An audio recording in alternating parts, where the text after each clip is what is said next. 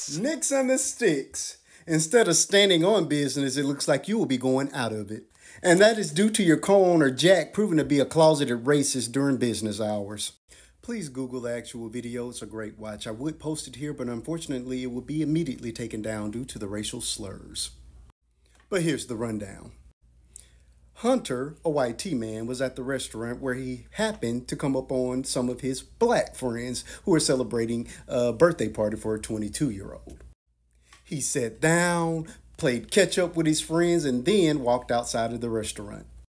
The co owner, Jack, confronted him outside of the restaurant and said, So you condone sitting at the table with N words?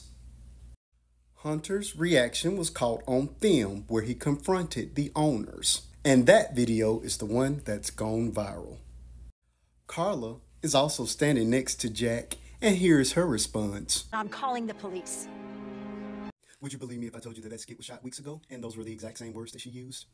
The restaurant is now being boycotted. The NAACP is now involved, and I personally hope they never make another dime in that restaurant.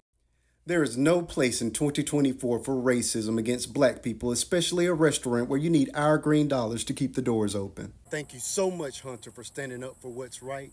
You're automatically invited to my next family cookout. And to the owners of Nick's, you know exactly where you can put those sticks.